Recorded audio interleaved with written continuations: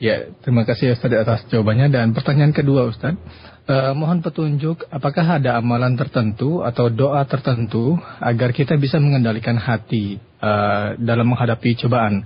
Karena yang saya pahami bahwa cobaan itu adalah uh, hanya menyusahkan hidup saya saja. Demikian.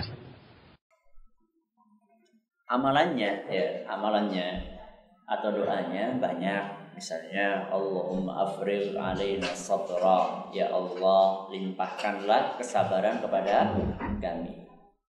Dan juga salah satu yang untuk mengkikis perasaan tadi, perasaan bahwa ujian itu hanya menyusahkan, itu adalah belajar. Adalah apa? Belajar. Belajar agama. Supaya kita paham bahwasanya Allah itu manakala menakdirkan sesuatu yang mungkin nampaknya tidak enak, nampaknya menurut kita tidak enak, tapi di balik itu banyak hal-hal yang istimewa. Ya seperti yang sudah kita sampaikan selama ini, musibah-musibah itu atau masalah itu ternyata mengandung hik hikmah. Hikmah-hikmahnya sudah kita jelaskan, silahkan didengar kembali. Ya, apa yang sudah saya sampaikan pada beberapa pertemuan yang telah lalu atau yang disampaikan oleh para ustadz dan ulama yang lainnya. Jadi, Anda akan bisa merubah image akan bisa merubah perasaan itu kalau ada rajin untuk mengkaji agama ini, mempelajari Al-Quran, mempelajari hadis-hadis Nabi SAW, mengkaji keterangan yang disampaikan oleh para ulama, sehingga kita tidak timbul suudzon, berburuk sangka kepada siapa?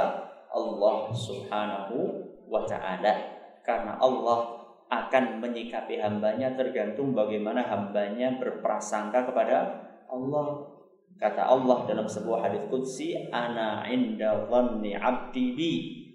Sesungguhnya aku akan menyikapi hambaku sesuai dengan prasangka hambaku kepadaku.